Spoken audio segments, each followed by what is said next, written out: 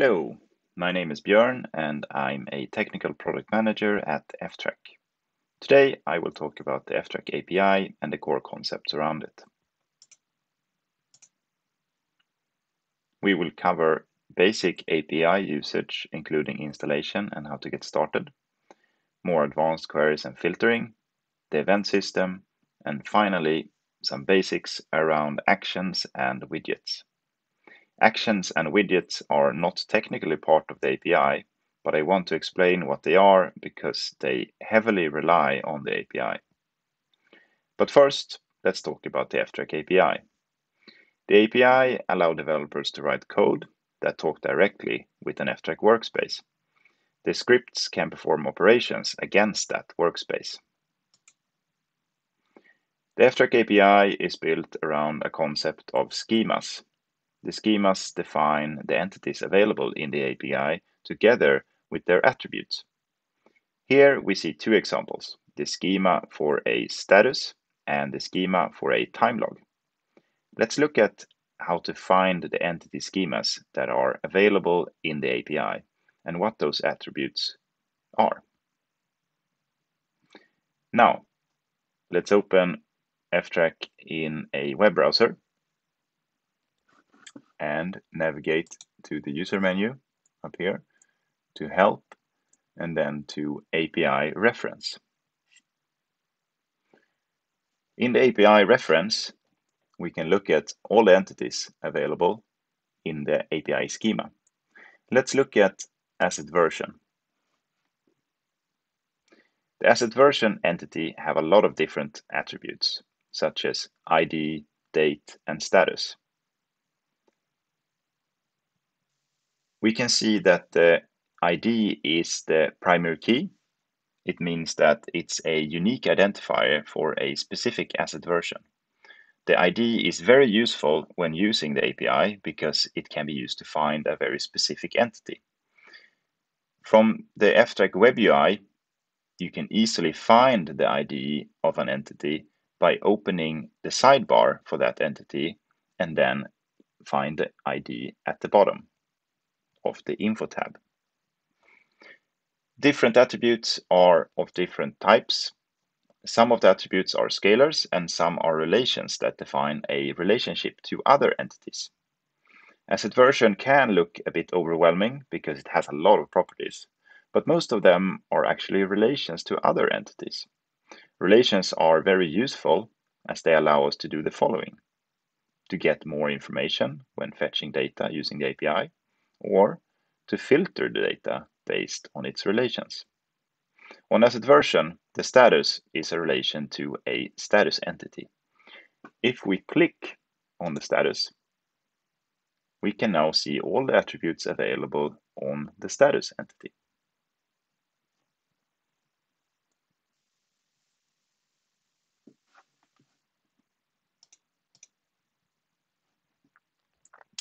The ftrack API is available in your workspace as the slash API endpoint. The API endpoint can be used directly using a curl command like this, but it is more convenient to use one of the API client libraries provided by ftrack. ftrack maintains libraries for Python and for JavaScript. If you want to use the ftrack API for another programming language or application that does not support Python or JavaScript, you can use the slash API endpoint directly or build a simple API client yourself using our libraries as reference. They are available as open source. In this video, we will use ftrack Python API client. Now, let's get up and running with the Python API client. First, you need a computer with Python 3 installed. We recommend using Python 3 since Python 2 is no longer maintained and our API client will eventually drop support for it. When testing with Python, it's best to create a virtual environment where you can install new libraries without messing up anything else for anyone else on the same computer. Once we have created a virtual environment, we activate it, and now we have our own isolated Python environment where you can install the ftrack Python API client module using the pip install command. The client will be installed together with any required dependencies, and we are now ready to start using it. To start using it, we run Python and then import the ftrack API module. To actually use the ftrack API, we also need to have credentials that the API client can use to authenticate with your ftrack workspace. The credentials we need are in your account page, where you can find your username and generate an API key. Keep this API key safe and to yourself. You will not be able to retrieve it again, but you can reset it if you lose it.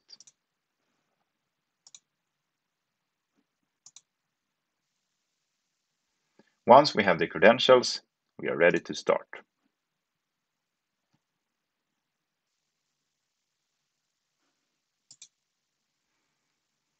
To use the API client, we need to create a session object using our workspace URL and the credentials. The session object will then be used for reading or writing data from your ftrack workspace. All communication with an ftrack workspace takes place through a session. This allows more opportunity for configuring the session, plugins, and so on, and it also makes it possible to connect to multiple ftrack workspaces from the same Python process. To read data from ftrack, we make a query.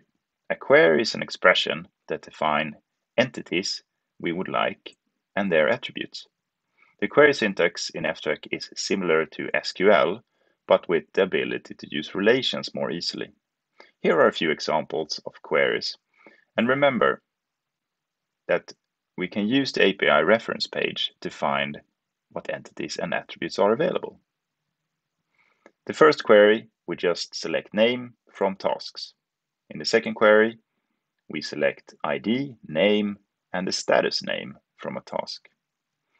And in the final example, we, we select the same attributes, but we also apply a filter to only get certain tasks.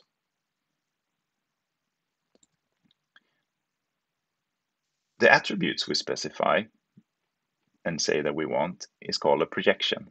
The projection is useful because we can define exactly what we want in the response so that we don't have to make multiple queries. The response from a query is a Python object that can be used like a dictionary to read the attributes. Relations are represented in the same way, but as their own objects instead of scalars. One thing to be aware of when using the API and querying data is that the API can also be used to traverse relations manually without making any queries. This is simple to use, but comes with a cost. Every time an attribute is accessed, it will be fetched from the server if it's not already loaded. And this is fine for a simple situation, but could become a performance bottleneck when reading lots of data. This behavior can, however, be disabled by using the auto-populate argument when creating the session or by setting it manually.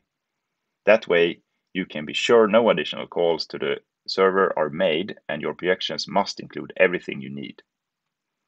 Another aspect to consider when thinking about performance is how much data to include in the projection.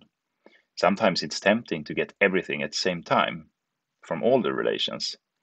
But from a performance perspective, it can sometimes be better to just load the basic information and then do another query to get additional data because those two queries could be faster than one big query. One of the important things to know about is that the session object will not persist changes to the server automatically. Once you have created, updated, or deleted entities, you need to commit any changes to the session. This allows for doing multiple operations in the same transaction. To create new entities, we use the session.create method and pass two arguments to it, the entity type and a dictionary with the attributes we want to set as the second argument.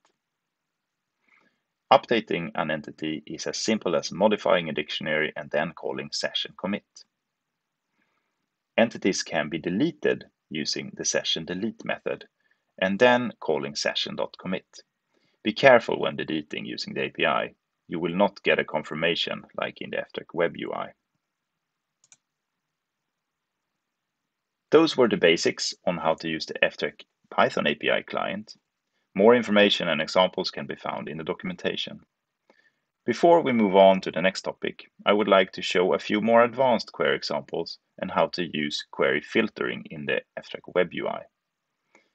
The first one is an example of filtering on a relation that have multiple entities in it, using the ANY operator. The second one is also an example using the ANY operator, but with a filter that uses relations. And finally, an example finding things where the relation is empty. A nice feature in ftrack related to API queries is the ability to write custom query filters and use them in the ftrack web interface when working with list views for tasks and versions. Remember that you can use the API reference when building these queries to find the available relations and attributes. Building query filtering into dashboards and views is probably not something everyone would do on a daily basis. But a technical user can configure those views and dashboards to include those filters and then share them with everyone else. You can also use variables in those filters on a relative date or to get the current user.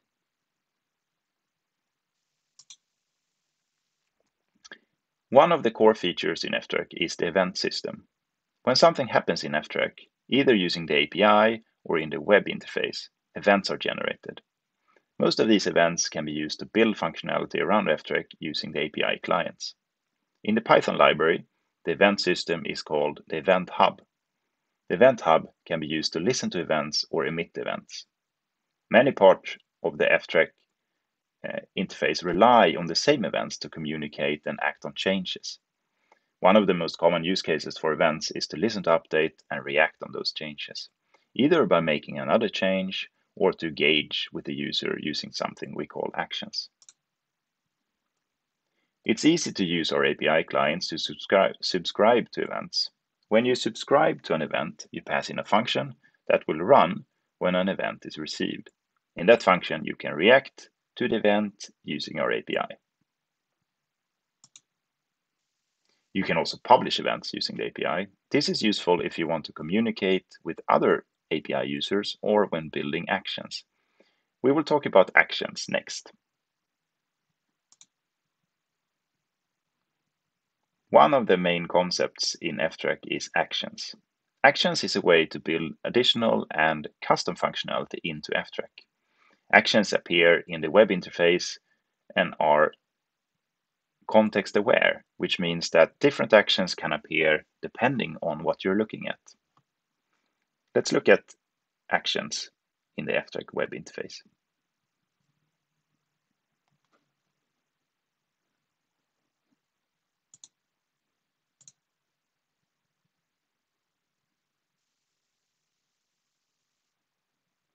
If I open the sidebar like this, I can run actions from here. And here is my example action that I can run to see a simple form interface. I can also run actions by multi-selecting here in the list view and then select actions. I can also go into the overview section of ftrack and here I can select items from multiple projects at the same time and run actions.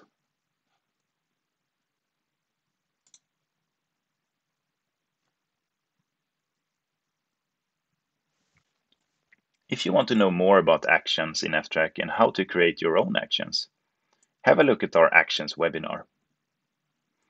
Actions are conceptually quite simple and are built using events. I will try to explain how they work under the hood.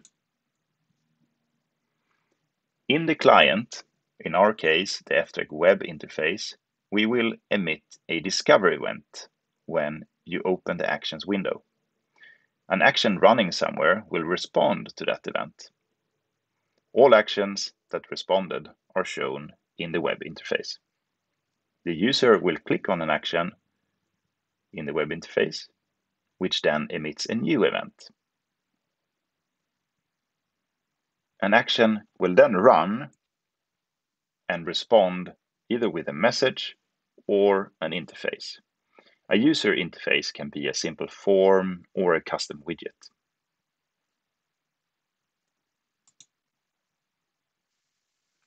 Let's talk about widgets and how you can build widgets using the ftrack API. Widgets can be used to build your own custom interfaces that can be shown in the ftrack web interface on dashboards. Building widgets is useful if you need a very specific view or aggregation of data you track in ftrack, or if you have a custom workflow that require an interface. To summarize, widgets can be used in two key areas in ftrack, either on dashboards as widgets or when using actions. So when I run an action, a widget can be displayed. Simplified, a widget is just a regular HTML web page that uses the ftrack API to present information from ftrack. This page can be very simple or very advanced depending on what it will be used for. I will not go into details on how to build widgets in this video, but there are plenty of examples online on how to get started. That's all for today. I hope this has been a good introduction to using the ftrack API, and if you have any questions, please, please feel free to reach out to our support channels. Thank you.